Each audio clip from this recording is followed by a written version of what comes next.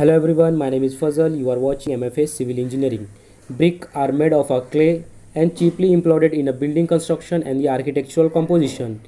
Bricks are obtained by the molding plastic mass of a suitable proportion earth that mainly consists of a silica and the alumina in a timber or a steel mold. Molded bricks are first allowed to dry and then burnt in a kiln to achieve a strength. Bricks are generally a rectangular in a shape having a length twice the width plus the thickness of the mortar joint. The main characteristic of a bricks are easily available, lightweight, cheapness and easy in the handling. Clay brick may be divided into ordinary bricks and the fire bricks. The ordinary bricks can further be classified into four classes according to their qualities like first class, second class, third class and the fourth class. The first class brick are a well burned and a proper rectangular shape and the size with a sharp edge. Second class brick are irregular in a shape and the size with the edge not sharp as the first class brick. Third class brick are the usually underburned brick which are soft and light in a color. And a fourth class brick are a overburned brick having a deformed shape and the size. Fire resistance brick are made of a pure clay or a mixture of a fine clay and a pure sand cemented with a small proportion of a clay. Fire brick are capable of withstanding a intense heat without melting or a softening. According to Indian standard, the size of a brick without thickness of a mortar joint is a 19 cm by 9 cm by 9 cm. Bricks are laid in a various courses with a frog upward to form the brick wall. Cement mortar is placed below side of the bricks and inside the frog.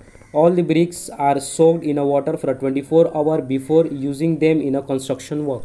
First and second class bricks are used for all sort of a sound work, especially of a permanent nature like a construction of a building, bridge piers, tunnels lining and the water structures.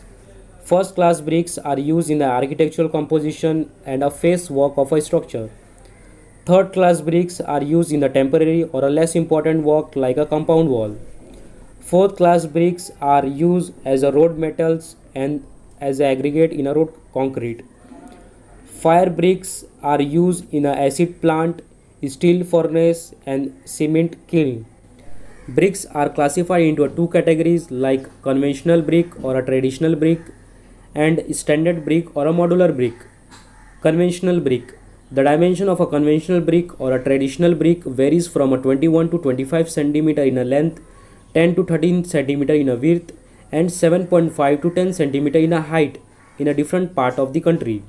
The common adopted size of a conventional brick is a 23 cm by 11.4 cm by 7.5 cm. Standard brick in a different part of the country, different size of a brick are used Therefore, to have a uniform size throughout the country, Indian Standard Institute has suggested a uniform brick size is known as a standard brick or a modular brick. The nominal size of a modular brick or a standard brick is a 20 cm by 10 cm by 10 cm and the actual size of a brick is a 19 cm by 9 cm by 9 cm and the frog having a size of a 8 cm by 4 cm by 2 cm.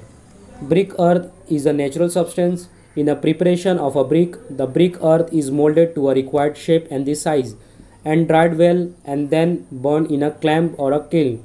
The main ingredient of a good brick earth are alumina, silica, lime, magnesia and iron oxide. Alumina. It is a cheap ingredient of every clay. Alumina absorb more water and impart plasticity to the clay. Therefore, bricks can be easily moldable. A good brick earth should contain 20 to 30% of alumina.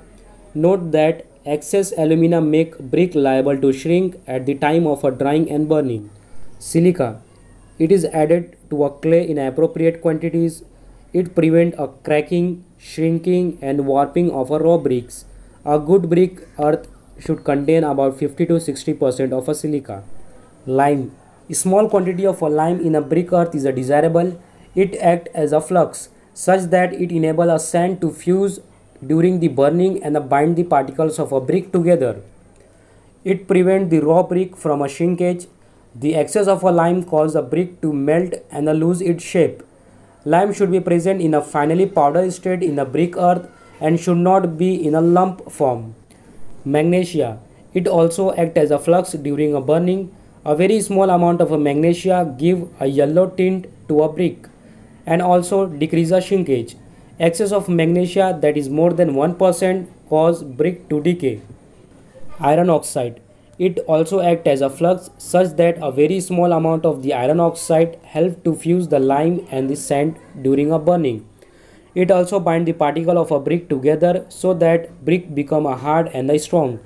It also impart red color to the brick but excess of the iron oxides make the brick dark blue in color.